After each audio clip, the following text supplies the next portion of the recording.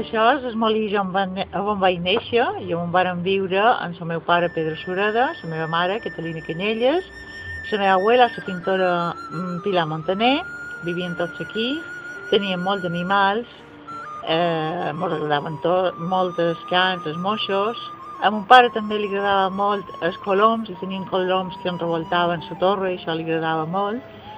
I també ell pintava aquí, perquè això també era el seu taller, i la meva mare era la que posava ordre un poc dins aquest desgavell que teníem en aquesta casa en tant d'animals. Aquí hi havia un guerrover molt gros, on hi fèiem a baixes, ma mare feia un gelat de llimona molt bo, Aquí davant hi havia un correlet on tenia un parell de verdures, jovert i, i grells i aquestes coses que s'empleaven llavors a les cases. Bé, que algunes ara també. Teníem moltíssimes de flors, a ma mare li agradaven molt les flors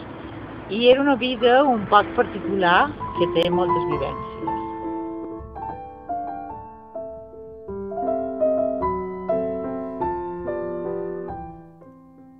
La bellesa de l'home és que crea bellesa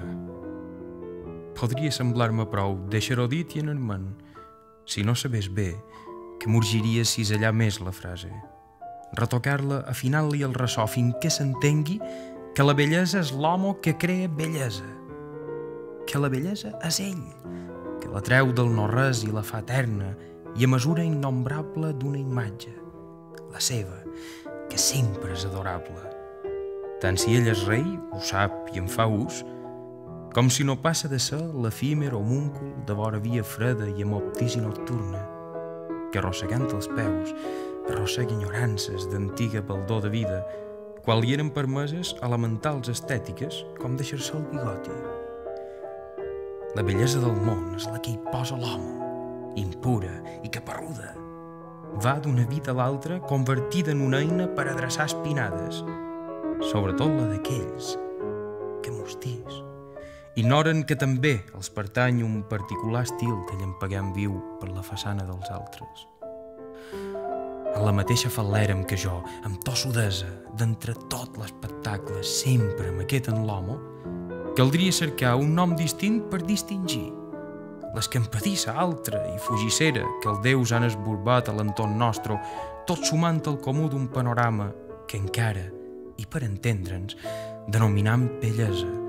en les mateixes lletres, com si la durada i la mesura seves, de tan distinta nissaga, poguessin saciar l'home,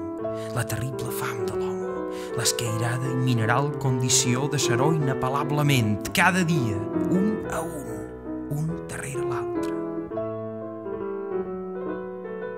De tot quant he dit, i que sigui eterna la bellesa amb què ell millora el món, deduirem sense esforç respecte al Déus l'evidència de ser la jerarquia més alta a cal l'homo,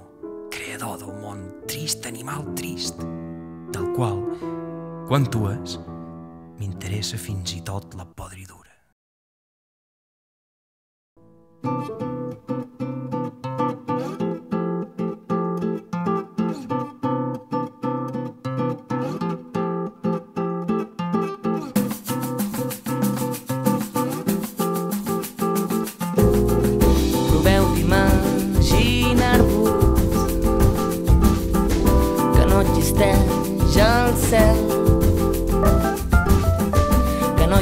no hi ha infern